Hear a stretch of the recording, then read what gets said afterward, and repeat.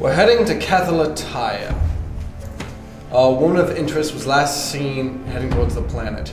Avoiding any Y-Con contact, we are to recover the lady and her stolen goods, and then take her back to the rendezvous point on Vegas Minor.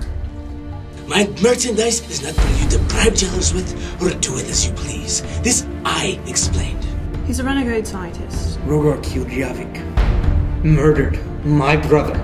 He's tried many times, and if he succeeds, it will be an end to everything that we know. You think that this would be the life I chose? Then why did you come? After me? I didn't have a choice. You always have a choice. Maybe I am the head of the one responsible. Was it you who killed my family?